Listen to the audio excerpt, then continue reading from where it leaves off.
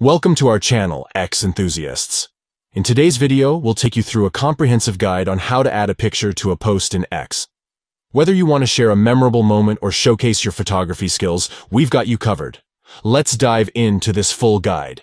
Step 1. Open the X app on your device. Take a moment to familiarize yourself with the user interface. Step 2. Look for the plus icon, usually located at the bottom center of the screen. Tap on it to create a new post. Step 3. Type in what you want to post, whether it's a caption, a message, or a description. Let your creativity shine. Step 4. Now, let's add a picture to your post. Look for the image icon, typically represented by a small camera or gallery symbol. Tap on it to proceed. Step 5. X will provide you with options to select a picture. Browse through your device's gallery or camera roll to find the perfect image for your post. Step 6.